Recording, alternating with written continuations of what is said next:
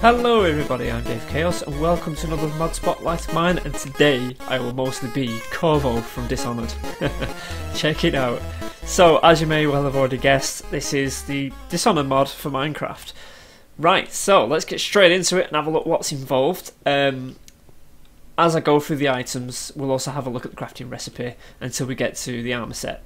So, from the top is Corvo's sword. Uh, it's nothing special, just like it is in the game. Uh, it consists of two iron ingots, two pieces of coal, and a stick. And there it is. Let's, uh, whoops, bring it up. Here it is. Yay! Um, it's only as strong as iron. Nothing special. It's not really that special in the game, to be honest, other than it's probably your main tool for assassination. But uh, yes, it doesn't do anything else.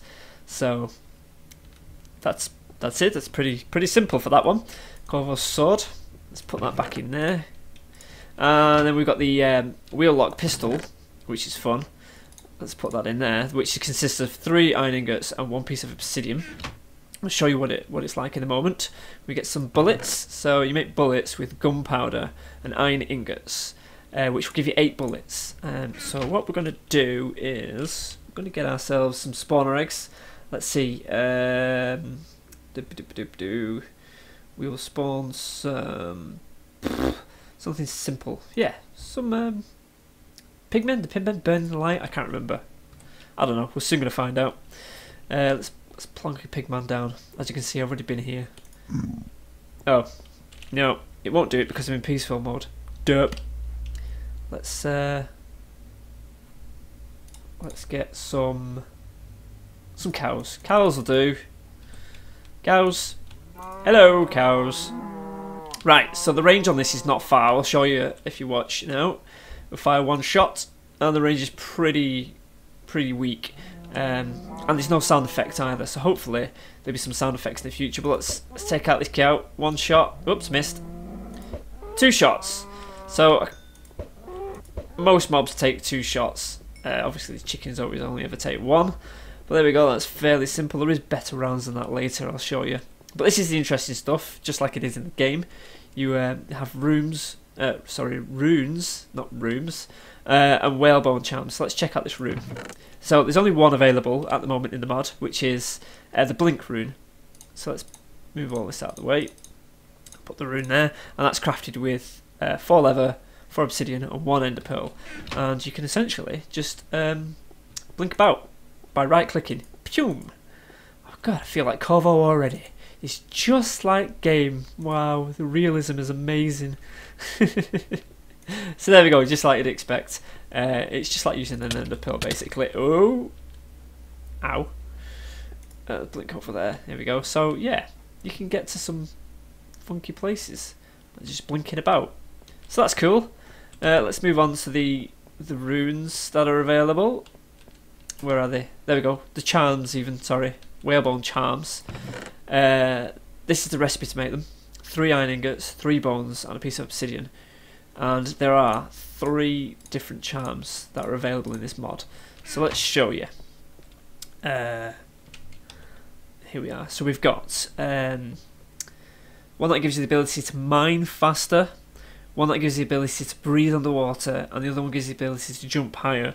And all you do is you select them in your inventory, right click, and that puts that effect onto you. So there you go, jump boost number two, which will last for a couple of minutes, and that lets you jump two and a half blocks. So that's pretty cool. Let's uh, boing.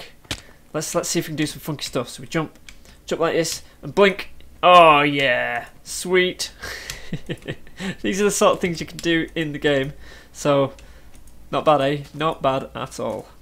Right. Um, Let's have a quick look at the other ones. So the whalebone charm, uh, that one lets you breathe underwater, and that one. So there's your breathing underwater, and there's your haste. Uh, I'm not going to demo these because they work. It's simple. You breathe underwater with that one. You mine faster with that one. Nothing too exciting. Um, this mod is a work in progress, so hopefully in the future uh, there'll be a lot more charms and a lot more runes. I like to see a lot more runes for sure. So we're going to set ourselves to um, hard now so that I can actually take some damage to show off the elixir. So the elixir will uh, give you regen two for ten seconds when you're hungry. So let's um, let's get some hunger up. We need to run around, do some serious jumping. If you can get some hunger going. Maybe if I take a bit of damage. Let's try and blink up there and jump off. Oh, oh, God. Oh, God. Ah! Okay, I'm not trying to kill myself here. that place was packed full of mobs. Uh, come on. Run everywhere. I should get hungry in no time. Surely. What's that? What is that? Oh, this map that I'm on at the moment will be available um, in the description. If you just have a look, there'll be a link to download it. This just hungry. It's just not happening. The best way I know to get hungry is to just run and jump around like a loon. Come on now.